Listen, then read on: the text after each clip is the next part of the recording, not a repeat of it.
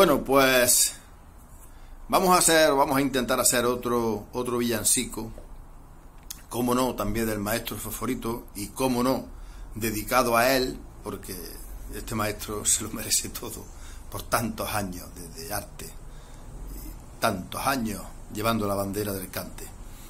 Eh, bueno, otros años esto lo he hecho yo a dos guitarras, pero bueno, las cosas están como están, la crisis está como está, no hay presupuesto para más. Entonces lo voy a hacer yo solo, a ver qué sale. Vamos a ver.